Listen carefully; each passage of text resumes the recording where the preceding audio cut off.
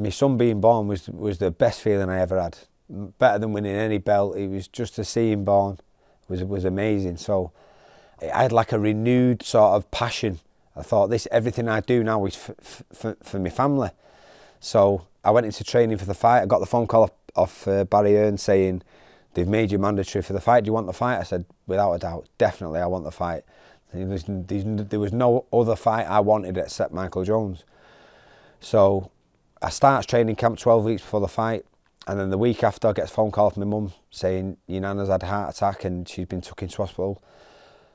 And unfortunately, two days before the fight, the day before the weigh-in, I got a phone call from my mum just saying, um, you better come to the hospital, she's not going to make it. Not going to make it through the night.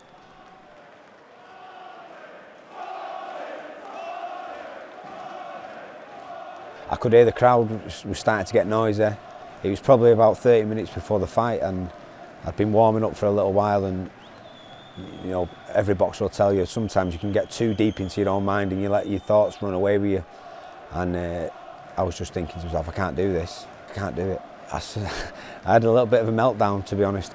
I just heard someone say, I hope you're not bottling it, for the use of a better word. and uh, I looked up and it was Ricky. I sort of stood up and, and gave him a hug and, and then it was weird. Everything just went away again. And he went, listen, come on, you, you've, got the, you've got this kid's number. Don't let your mind run away with you, you can, you can win this. But he said, listen, forget about your nana. Just try and forget about it, think about boxing. So I said, right, okay. And that was it. All those negative thoughts went out of my mind and I was back on it. I was back focused and, and ready, to, ready to do the job. I was just so focused and determined to beat him. I knew that this was it because I felt if I didn't win that fight, my career was over. I couldn't wait to get back in that ring and be stood facing him and for the rest to say, let's do it. I couldn't wait for that moment and all the nerves and tension, everything goes, the butterflies, and it's just, this is it now, this is my time. Seconds out, Ramos. one all between the two. Another rematch. And what now? Moore starts as 7 to 2 on favourite to win the Lonsdale belt outright. I'd not boxed for six months and it, obviously my timing was out. He knew I was coming for him. I, he, I think he could tell by my demeanour. Once you get into the fight, you know you're there. I was probably a bit too confident because I, I went back out for the third round I sort of, you know, got in there, cut him, cut, uh, hurt him badly, and uh, I thought, I've got him here. Oh, that's a good! John, Moore has! Beautiful shot from Michael Jones, and Jamie Moore is floored. Sensational fashion. I didn't see it coming. Um, I was throwing a left uppercut, and the momentum of my shot, coupled with the, the power of his shot, put me on the ground, and uh, I, that was the start of me being, being in, in a lot of trouble.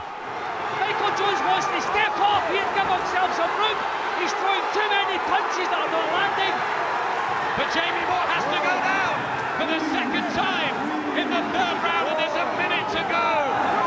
My bum slipped through the bottom rope and as it slipped through I put my arms out to, to, to steady myself and he, he hit me in the back of the head. And when I went down, I, I, it really disorientated me, the, the, the shot to the back of the head. I was just thinking, just weather the storm and try and get through it.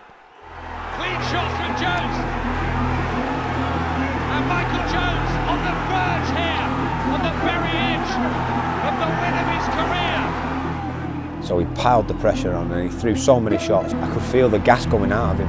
I remember rolling on the ropes and I remember thinking, as soon as you stop punching now, you're getting one. And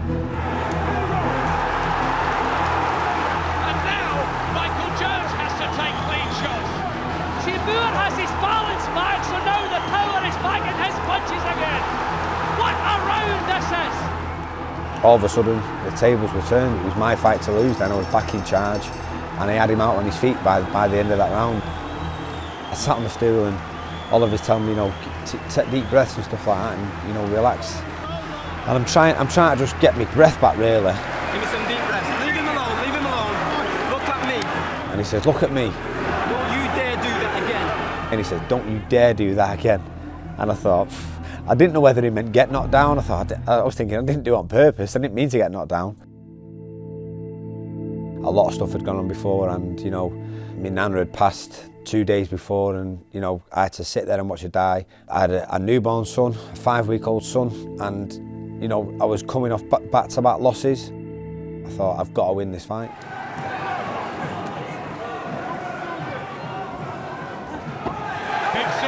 Jamie Moore, who's just starting to get to Jones again, and he's got to go down. I jumped on him because I, I seen in his face it had hurt him, and I, I rushed in and I hit him with a, a, a left uppercut and a right hook, and then a chopping little left hook. He decided to go down.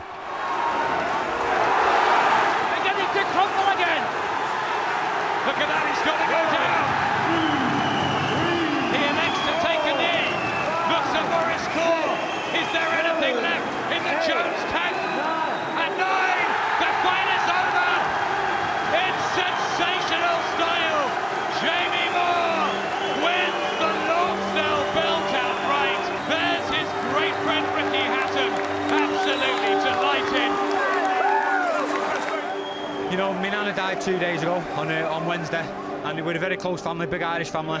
And um, she shouted down to me, she said, "Keep going, son." And uh, you know, I done it stuck in there, and that was to my baby Micah and my nana who died on Wednesday. The mixture of um, joy and relief at the same time, because of everything what had happened, all those things added together made that, for me, the, the greatest feeling I ever had as a boxer to, to win that fight.